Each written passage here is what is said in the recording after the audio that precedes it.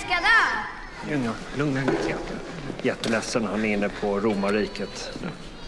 Vad glor du på Subba? Vill du ha en royal kick i huvudet eller? Vad sa han för någonting? Ja, han kallar mig sub.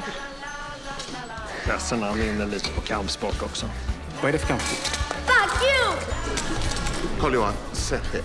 Ja, vi sätter oss. Vi får hjälpa till ett Jag tror jag förstår varför Jacke vill byta. Säger du det? Är det okej, gumman? Hur löser vi det här? Pappa, har du sett mitt godis? Nej. Konstigt. Ärligt, intyg du på heder och samvete?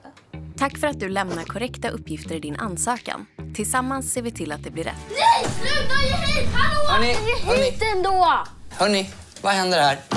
Hörni. Hallå, kan jag, Jag ställde en fråga. Vad händer här? Jag bara lånar hennes sudd för att jag skrev fel. Ja, han lånade mitt sudd igen, men han frågade inte och sen så började han bara använda den. Okej, men hörni, det här kan vi lösa mycket bättre. Det vet jag. Det har vi pratat om. Vill ni gå ut och prata om det? William, du måste lära dig att fråga om du vill låna saker. Okej? Och Aino, om någon glömmer att fråga så behöver man inte göra en så stor sak av det. Eller hur? Exakt. Lämna tillbaka sudden. Tack. Hur mår du idag Sebbe?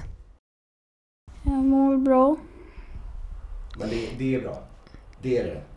Alltså, han springer ju lika fort som han alltid har gjort och han gör ju fortfarande massor med mål. Så att egentligen är det ju ingenting som har förändrats.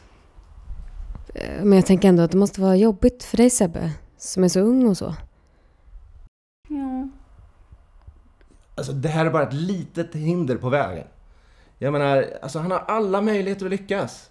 Och bli bäst i världen, eller hur?